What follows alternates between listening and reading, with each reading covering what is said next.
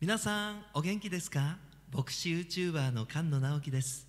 出前牧師館チャンネルにようこそお越しくださいました。どうぞお入りください。最後までご視聴お願いいたします。本日8月3日木曜日孫にも衣装という題でお話をしたいと思います。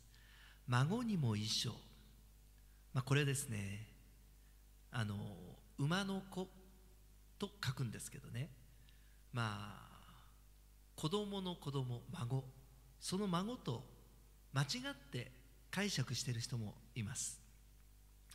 まあ孫でもねその衣装を着替えれば立派に見える。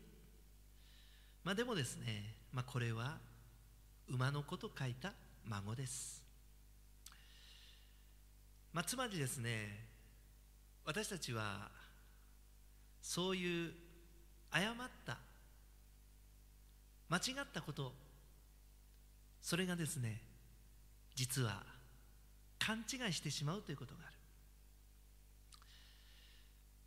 まああのある時ねあのご表記なんですけどねあの罪を捨ててくださいってこう文章でね書いたんですよね。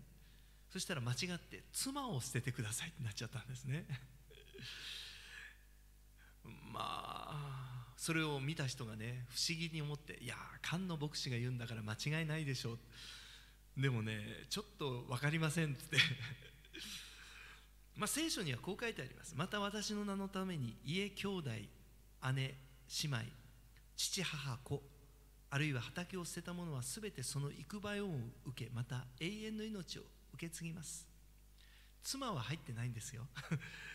でもねこれはどういう意味か。全部を捨てよって言ってるんですけど何にも勝って神が第一ですよってそれを際立たせるためにあえて捨てようと言ってるんです。本当に捨ててしまうんではなくてね。モーセの実会では父と母を敬えって書いてありますからね。捨てていい捨てなさいって言ったらちょっとこうやっぱり矛盾してしまいます。まあ話が戻ります。孫にも衣装それは誰でも外面を飾れば立派に見えるっていうことです。聖書はこう書いてあります。主イエス・キリストを着なさい。皆さん主イエス・キリスト着たらね主イエス・キリストみたいに立派になりますよ。皆さんこれがクリスチャンであり信仰義人 Justification by faith 信仰によって義と認められる。イエス様を着る。イエス様のように見える。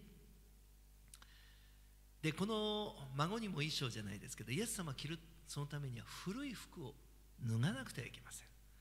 その上にねどんどんどんどん着てったらね大変ですから。皆さん古い服を脱ぎイエス様を着る。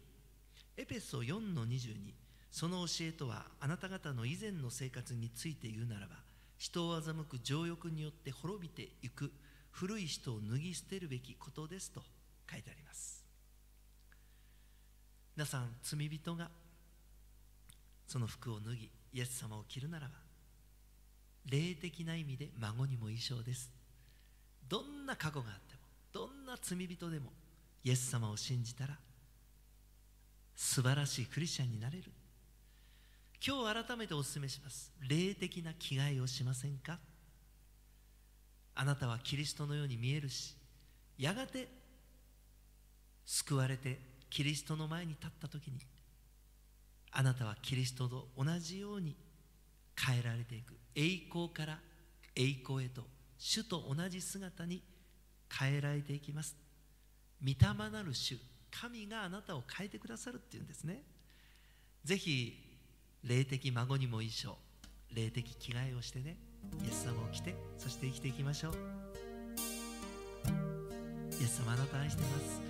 私が悩む時も響ちからを与え溢れる恵みを主は満たしてくださると。信じて私て保守に委ね喜びに満たされてこの日も過ごします。最後までご視聴いただきありがとうございました。また次の動画でお会いいたしましょう。その時までごきげんよう。さよなら。